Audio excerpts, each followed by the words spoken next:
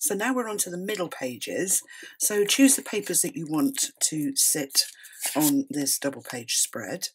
I've gone with the check on both from this collection um, because I thought it was a really good background for colours to pop out of. And you want to stick your papers in place. So I've got tape on the back of mine, which let's just take off. But you could add it with glue. Um, the reason I'm using tape is because these are large paper pieces and I really want them to sit nice and flat on the page.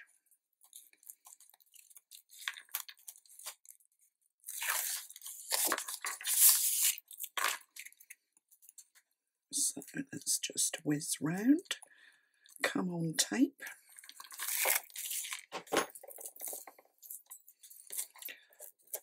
And then I'm just going to move the album towards me, line my paper up at the bottom, which will then mean it's lined up at the top.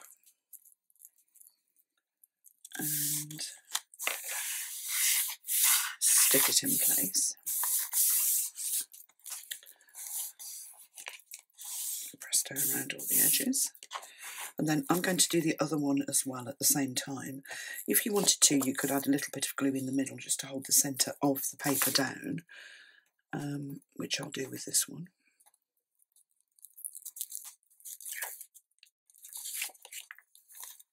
You can always do the rabbit ear thing, so take your top strip of tape off and then bend the side bits out.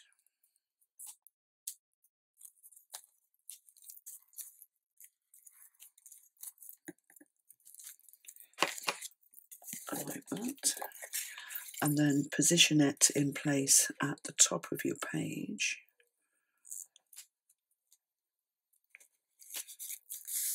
Press down, then just lift up the bottom edge and take the bottom strip off.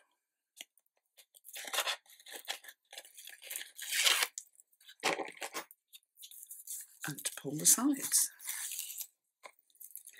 what we didn't do was put any glue in the middle, but never mind. That will be fine. So those are the pages covered.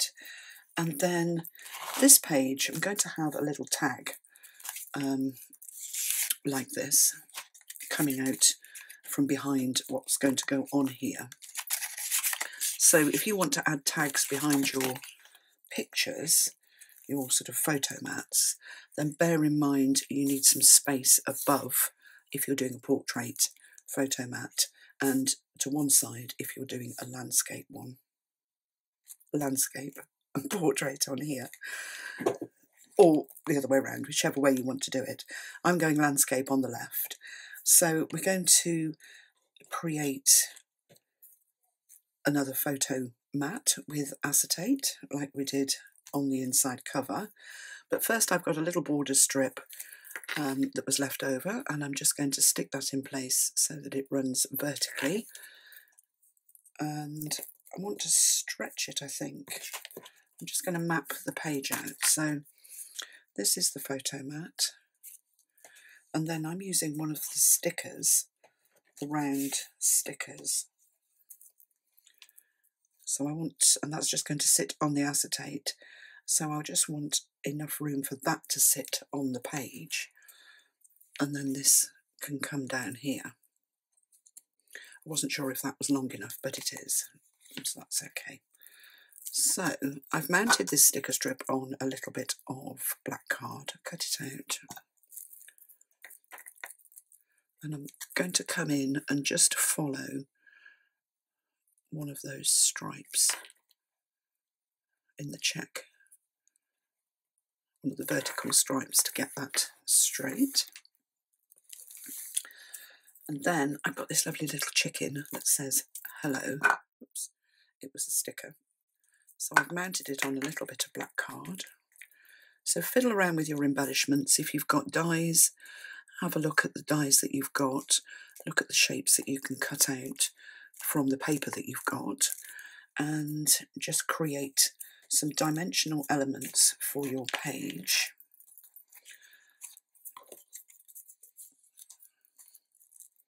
But don't overcrowd it. Keep it quite simple. And then when you put your photograph in, the photo will pop. So now we're going to make another portrait style, oh there it is, um, landscape. It's like left and right, I'm getting really confused. A landscape style photo mat. So you want to remove the backing tape, exactly the same as we did on the inside cover. Let's just do that. Line up your acetate so that it sits perfectly over your black matte base and then just pull the tape off. Now if you wanted to you could stick a piece of paper in here and your size would be 4 by 6 just but I've got an ephemera card.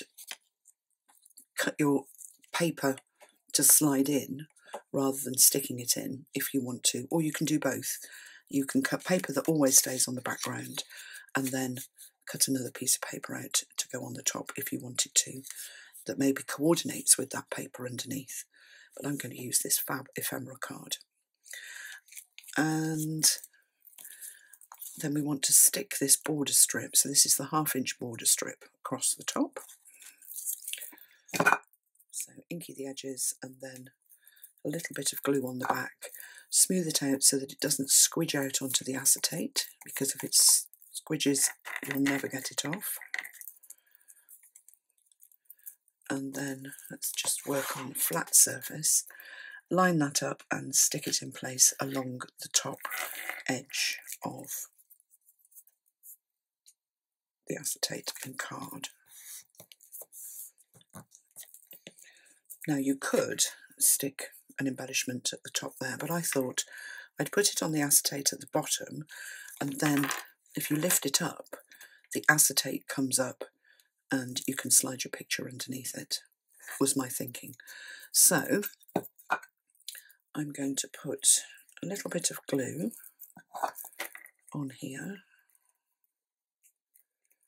and I want it to be half on, half off in the centre and I think that diamond is the centre so just line it up there and that's a one and a quarter inch black circle. So I'm going to punch another one out and stick it to the underside. Let's just get the punch. This is an old Stampin' Up punch.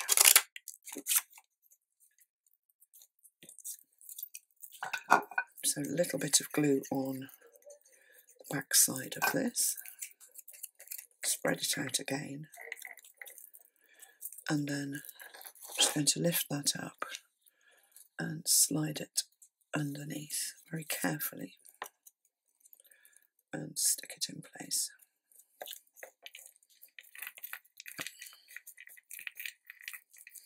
And that makes a nice little tab. And then flip over on the back. I've already put my double-sided tape on there. So I want this to be a pocket as well as a photo frame mat. So let's just take those backing strips off. And then I'm just going to just roll it in my fingers just to get a slight curve. And that just helps when you're trying to put something underneath it. And then I'm going to line it up with one of the vertical plaids and stick it in place. And then when we come to decorate tags, the tag slides really nicely behind the photo. And the little flap lifts up so that you can pull your picture, swap it and change it, and it's not permanently stuck. So likey likey that page, not overcomplicated, but it looks really fresh. And then for this side, I've gone with the portrait style photo mat, a couple of borders, a couple of stickers. Let me just punch out one more circle.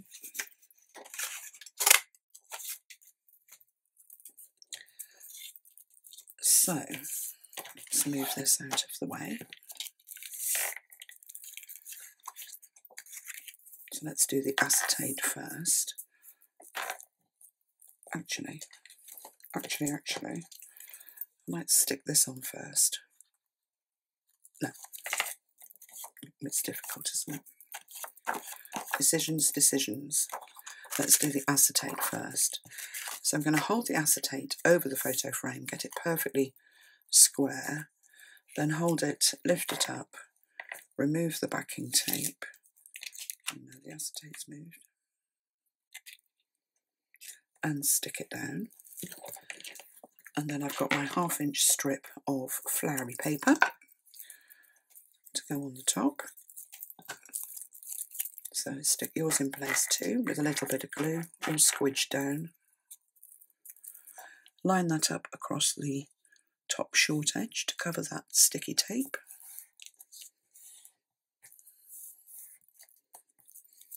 Slide your picture in, or paper if you've cut paper.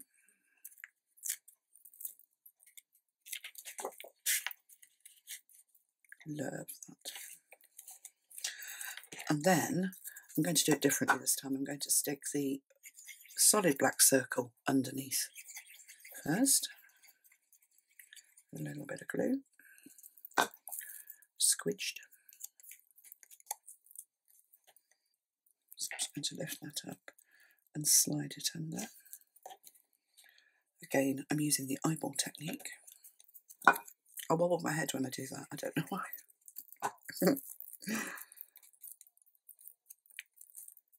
when I say that. And then I'm going to stick this little circle over the top.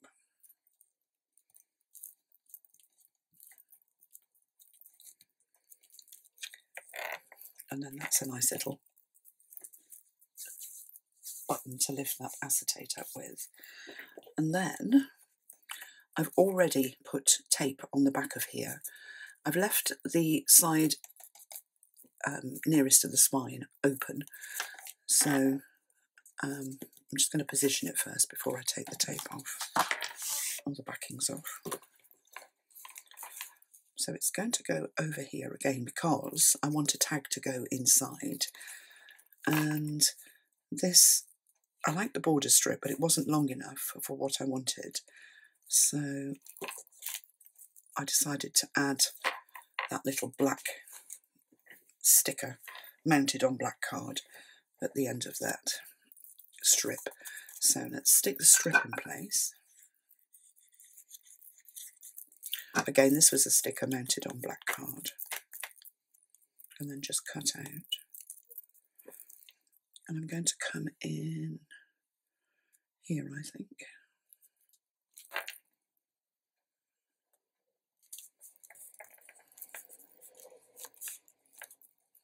Stick that there. And then I haven't used any foam pads. I've just stuck things straight down onto the page. The only foam is under the picture on the front cover. And then centre that up and stick it down. I've brought it in slightly from the edge. That's fine. Lovely. And then, get rid of the glue on the fingers and then flip over and let's take this backing tape off.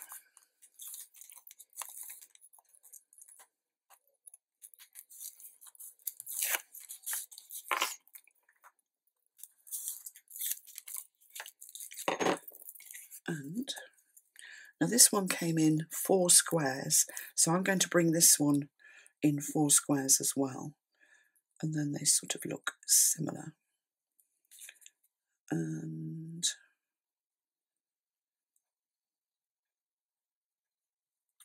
there.